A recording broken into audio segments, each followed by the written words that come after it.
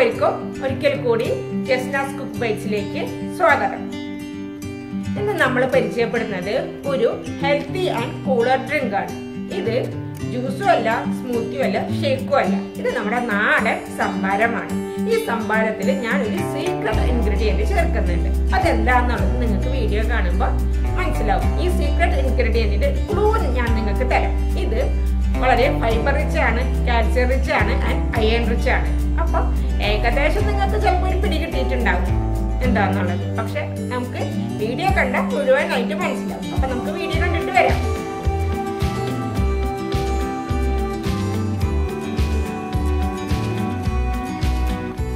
Healthy and cooler ഡ്രിങ്കിന് വേണ്ടിയിട്ട് എടുത്തിട്ടുള്ള secret ingredient നമ്മുടെ റാഗിപ്പൊടിയാണ്. പഞ്ഞപ്പുല്ലിന്റെ പൊടി.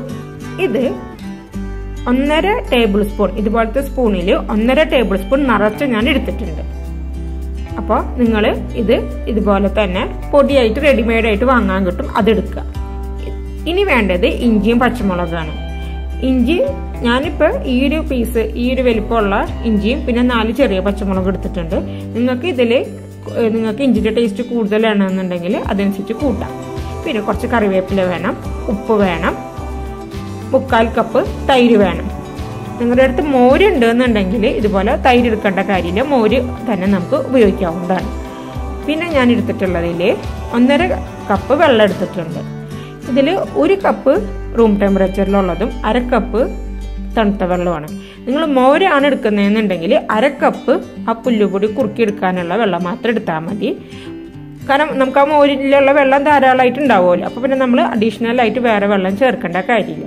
ഇവിടെ ഞാൻ തൈര് ഉപയോഗിക്കുന്നത് കൊണ്ടാണ് വെള്ളം കൂടുതലായിട്ട് ഇതിലേക്ക് ചേർത്ത് കൊണ്ട് കൊടുക്കുന്നത്. റാഗിപ്പൊടി ചേർത്ത് സംഭാരം ഉണ്ടാക്കാൻ വേണ്ടിയിട്ട് നമ്മൾ ആദ്യം റാഗിപ്പൊടി ഒന്ന് കുറുക്കിയെടുക്കണം. അതിന് വേണ്ടിയിട്ട് ഞാൻ ഒരു ഗ്ലാസ് വെള്ളം ഒരു പാത്രത്തിലേക്ക് ഞാൻ ഒഴിച്ചു കൊടുക്കുകയാണ്. അപ്പോൾ ഞാൻ തീ കത്തിച്ചിട്ടില്ല. ഞാൻ സ്റ്റവിന്റെ മേലെ ജസ്റ്റ് ഒന്ന് വെച്ചിട്ടേ ഉള്ളൂ ആ പാത്രം. ഇനി ഇതിലേക്ക് നമ്മൾ എടുത്തു വെച്ചിട്ടുള്ള റാഗിപ്പൊടി മുഴുവനായിട്ടും ഇട്ടിട്ട് നമ്മൾ കുറുക്കിയെടുക്കണം.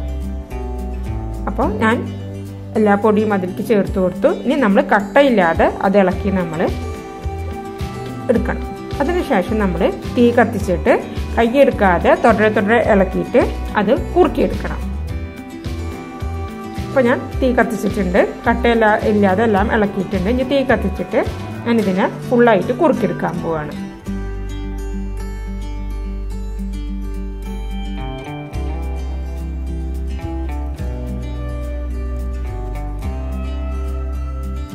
റാഗിപ്പൊടിയുടെ ഗുണങ്ങൾ ഞാൻ പറയേണ്ട കാര്യമില്ലല്ലോ നിങ്ങളോട്. നിങ്ങൾക്ക് എല്ലാവർക്കും അറിയാവുന്നത് തന്നെയാണ് റാഗിയുടെ ഗുണങ്ങൾ.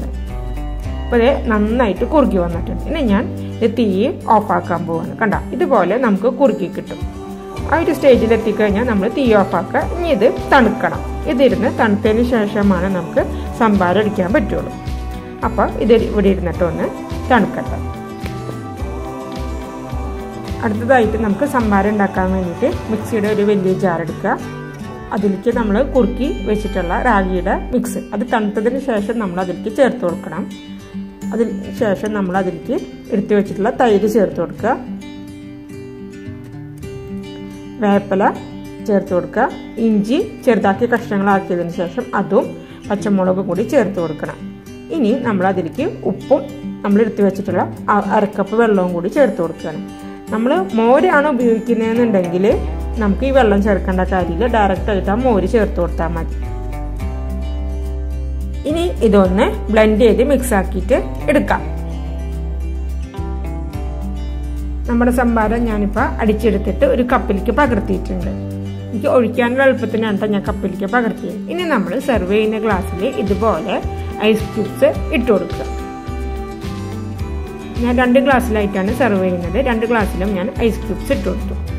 ഇനി അതിലേക്ക് നമ്മൾ നമ്മൾ അടിച്ചു വെച്ചിട്ടുള്ള സംഭാരം നല്ലോണം പൊക്കി ഒഴിച്ചു കൊടുക്കുക. അപ്പോഴാണ് അതിങ്ങനെ പതഞ്ഞു വരികയുള്ളൂ പരമാവധി ഇത്തിരി പൊക്കി ഒഴിച്ചു കൊടുക്കുമ്പോൾ അതിങ്ങനെ നന്നായിട്ട് ഫ്ലഫി ആയിട്ട് മേലെ പത വന്നിട്ട് നിൽക്കും. അപ്പോഴാണ് നമുക്ക് കാണാനൊരു ഭംഗി ഉണ്ടാവുള്ളൂ. അതിന് വേണ്ടിയിട്ടാണ് ഞാൻ പൊക്കി ഒഴിച്ചു കൊടുക്കാൻ പറയുന്നത്. ഇനി ഇതിലേക്ക് നമ്മൾ കുറച്ച് വറുത്ത നല്ല ജീരകത്തിന്റെ പൊടി ജീരകപ്പൊടി ഉണ്ടല്ലോ അത് ഇട്ട് കൊടുക്കുക. ഇത് ഓപ്ഷണലാണ് നിങ്ങൾക്ക് ജീരകത്തിന്റെ ടേസ്റ്റ് ഇഷ്ടമാണെങ്കിൽ മാത്രം ചേർത്ത് കൊടുത്താൽ മതി.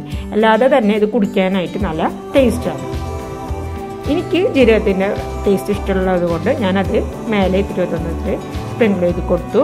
ഇതുപോലെ തന്നെ ഞാൻ ചെറുനാരങ്ങ കട്ട് ചെയ്തിട്ട് അതും കൂടി വെച്ചിട്ട് ഒന്ന് ഗാർണിഷ് ചെയ്യുന്നുണ്ട്. നിങ്ങൾക്ക് വേണമെങ്കിൽ കുടിക്കുന്ന സമയത്ത് ഈ ചെറുനാരങ്ങ അതിലേക്ക് ഒന്ന് സ്ക്യൂസ് ചെയ്തിട്ടും കുടിക്കാം. അപ്പോൾ കുറച്ചും കൂടി പുളി കിട്ടും അതിന്. റാഗി സംഭാരം ഞാൻ രണ്ട് ഗ്ലാസ്സിലേക്ക് സെർവ് ചെയ്തിട്ടുണ്ട്. ഇത് ഒരു സൂപ്പർ ഹെൽത്തി ഡ്രിങ്ക് ആണ്. ഇതിൽ നമ്മൾ മെയിനായിട്ട് ഉപയോഗിച്ചിട്ടുള്ള രണ്ട് ഇൻഗ്രീഡിയൻസ് ഒന്ന് റാഗിയും പിന്നെ ഒന്ന് യോഗട്ടുമാണ് റാഗി എന്ന് പറയുന്നത് calcium iron and fibre rich ആയിട്ടുള്ളതാണ്. ഫൈബർ റിച്ച് ആയിട്ടുള്ള ഫുഡ് നമ്മൾ നമ്മുടെ ഡെയിലി ഫുഡ് ഹാബിറ്റ്സിൽ ഉൾപ്പെടുത്താനായിട്ട് ശ്രദ്ധിക്കണം. അതുപോലെ തന്നെ അടുത്തതാണ് yoghurt yoghurt protein calcium and potassium vitamin rich ആയിട്ടുള്ള ഒരു ഫുഡ് തന്നെയാണ്. അപ്പോൾ അത് കഴിക്കുന്നതോറും യോഗട്ട് എപ്പോഴും നമ്മുടെ മെറ്റബോളിക് പ്രോസസ്സിനെ വളരെയധികം ഹെൽപ്പ് ചെയ്യുന്ന ഒരു ഫുഡാണ് അപ്പോൾ തീർച്ചയായിട്ടും നിങ്ങൾ ഇത് ഒന്ന് ട്രൈ ചെയ്തിട്ട് നോക്കണം. നിങ്ങൾക്ക് ഇത് ഇഷ്ടമാവും എനിക്ക് ഹൺഡ്രഡ് പെർസെന്റ് ഷുവറാണ് നിങ്ങൾക്ക് ഈ ഡ്രിങ്ക് ഇഷ്ടമായി കഴിഞ്ഞ് കഴിഞ്ഞാൽ അത് നിങ്ങളുടെ ഫ്രണ്ട്സിന് ഷെയർ ചെയ്യാനായിട്ട് മറക്കരുത്. അതുപോലെ തന്നെ ലൈക്ക് ചെയ്യുകയും കമന്റ് ചെയ്യുകയും വേണം. നിങ്ങൾ ആദ്യമായിട്ടാണ് എന്റെ ചാനൽ കാണുന്നതെന്നുണ്ടെങ്കിൽ ആ താഴത്തുള്ള ആ സബ്സ്ക്രൈബ് ബട്ടൺ ഒന്ന് പ്രസ് ചെയ്ത് വെക്കുക. അതിന്റെ അടുത്തുള്ള ബെല്ലൈക്കണും കൂടി ഒന്ന് പ്രസ് ചെയ്യണം.